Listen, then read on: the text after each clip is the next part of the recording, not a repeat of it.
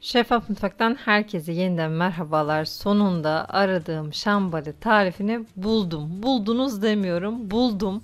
O kadar çok şambali tarifi denedim ki artık böyle şambaliye benzer şeyler yemekten gerçekten usanmıştım. Tam istediğim sokak lezzeti tadındaki şambaliyi buldum. Nerede buldum? Sanal Fırın denilen YouTube kanalında buldum. Gerçekten çok başarılılar. İşin e, erbabılar, ustasılar.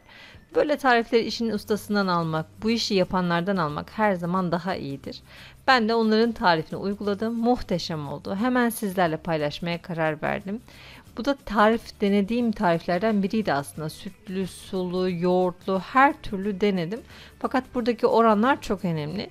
Gördüğünüz gibi karbonatla irmiği karıştırdım. İçine e, ekleyeceğim şimdi sütümün içine ekleyeceğim. Sütü biraz ılıttım. Şeker içine kolaylıkla erisin diye. Ee, ön girizgah biraz kalabalık oldu ama kusuruma bakmayın çünkü gerçekten çok mutluyum bu şambali tarifini bu şekilde bulduğum için. Sizlerle de paylaşmak istedim. Benim gibi arayanlar çok bu lezzeti, bu tadı. Şekerle sütü şöyle içine şeker eriyene kadar karıştıracağım. İrmikle karbonatı da içine ilave edeceğim. Bunun bütün püf noktası bu e, irmikle şekerin oranı ve dinlenmesi. Bir gece boyunca buzdolabında bekletiyorum. En az 12 saat, en iyisi bir gün boyunca dolapta beklemeli. Bu işin bir zorluğu yok. Sadece bekleyeceksiniz. Sabrı var. Şöyle elimle biraz yoğuracağım. 2-3 dakika boyunca elimle yoğurdum. Sonra şöyle güzel bir kıvam aldıktan sonra ki çok güzel kokuyor. Ben köy sütüyle yaptım üstelik bir de böyle yağlı bir süttü. Elimle şöyle üzerine hafifçe düzleyeceğim ve streç filmle güzelce kapatacağım. Niye kapatıyorum? Çünkü eğer bu şekilde açık bir şekilde bırakırsanız beton gibi olur ertesi güne. Buzdolabı bunun bütün nemini çeker. İşte o yüzden streç filmle ya da sıkıca örtülen bir hava almayacak kapakla birlikte buzdolabında dinlenmeye gönderiyorum.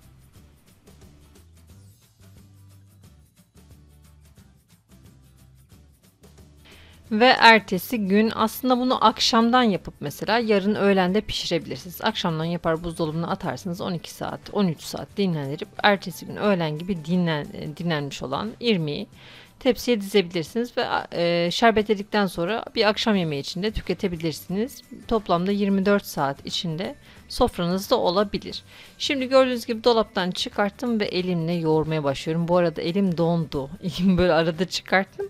E, irmiği böyle elimle e, yumuşatmaya çalışıyorum adeta böyle biraz. Böyle oda ısısına geldikçe daha bir kıvamı açılıyor sanki. 1, 2, 3 dakika belki de 3 dakika boyunca yoğurdum güzelce yoğurdum e, irmiğimi şimdi tepsimi alacağım. 800'lük baklava tepsisi kullandım. Ankastre fırınların bu derin tepsilerini kullanabilirsiniz. Ya da bu ölçü bana çok tuğba derseniz bu ölçünün yarısını dikdörtgen borcamada yapabilirsiniz Tatlımız kolay kolay bayatlamadığı için ve durdukça daha da güzel lezzetlendiği için bence fazla fazla da yapılabilir. Bol bol ikram da edersiniz. Ben öyle yaptım. Neredeyse bir bütün mahalleye ikram ettim. Herkes çok beğendi. Herkesten tam not aldı.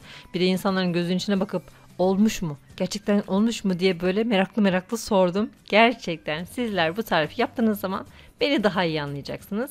Biraz elimle, biraz da pasta spatulalarıyla düzeltiyorum. Bu çelik spatulamın ucunda böyle santimetre ölçüleri var. Bilmiyorum oradan görebiliyor musunuz? Bunlar benim elim ayağım çok kullandığım ürünler. Ee, eğer siz de benim gibi meraklıysanız bu mutfak aletlerini mutlaka edinin bir tane hamur kesme e, spatulası gibi böyle santimetreler var. 4 santim çapında, 4 santim e, boyutunda şambaliler kestim. E, sizler daha böyle kısa kısa da yapabilirsiniz. Mesela iki buçuk santim yapmıştı sanal fırındaki beyefendi. Onun gibi de yapabilirsiniz. E, bu şekilde dizdikten sonra üzerine isterseniz yer fıstığı, isterseniz çiğ badem dizebilirsiniz. Önceden ısıtılmış 170 derecelik fırında 30-35 dakika kadar bir sürede pişiyor. Her fırının değişiklik gösterecektir. Nar gibi kızarana kadar şambaliyi kızartın, pişirin ve bu arada biz de şerbetini yapmaya geçelim. Reçeteye uygun olarak 1 kilo suya 1 kilo şeker, 1 litre suya 1 kilo şeker şeklinde bir çeyrekte limon böyle limonumun ucunu kestim attım içine. Kapak kapalı bir şekilde kaynamaya başladıktan sonra 5 dakika kadar kaynatıp e, sıcak şambali ile buluşturacağım. Buraya kadar her şey reçeteye sadık. Ben akşam 1 su bardağı şeker, 1 su bardağı suyu tekrar kaynatıp üzerine döktüm. E, finalde biraz böyle göreceksiniz dibinde şerbeti birikti. Dediğim gibi aslında reçetedeki ölçü bence yeterliymiş. Fırından çıkan şambalimi bu izlerden bıçak yardımıyla kesiyorum. Şu an oldukça sıcak bir tatlı. Yani baya böyle hiç bekletmeden kestim ve hiç bekletmeden şerbeti de ocaktan indirdim. Şöyle üzerine kestikten hemen sonra dökmeye başladım. Döktüğünüz şerbeti anında çekiyor.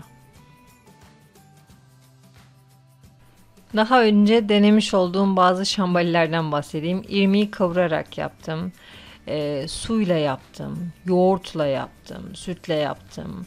Yani hemen hemen birbirine yakın tarifler. Hepsinin içinde elbette ki yağ yok, yumurta yok, un yok. Ama e, herhalde zannediyorum bu hani pastacılıkta gramaj ölçüsü çok önemlidir ya. Bunda da gramaj ölçüsü çok önemli. Mutfak terazisi olmayanlar için ben bardak ve kaşık ölçüsünü hem açıklamalar kısmına hem buraya yazıyorum. Bunu e, ölçülere dikkat ederseniz, pişirme esasına dikkat ederseniz sizler de benim gibi aradığınız lezzete ulaşacaksınız biiznillah. Tatlımız tamamen soğuduktan sonra çünkü şambali kaynardı, şerbet de kaynardı. Kolay kolay soğumuyor. Neredeyse şöyle bir 3-4 saat, 5 saate alıyor tamamen soğuması. Güzelce dinlenirse bu tarz irmikli tatlılarınız daha düzgün dilimler çıkartabilirsiniz.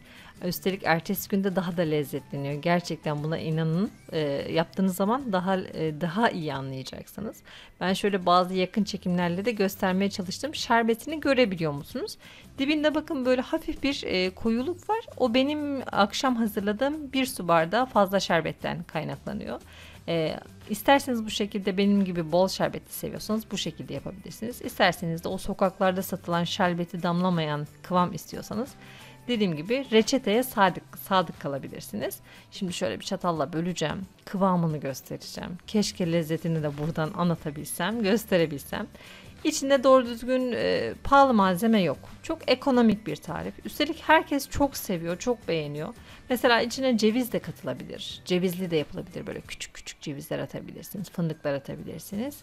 Bence harika oldu.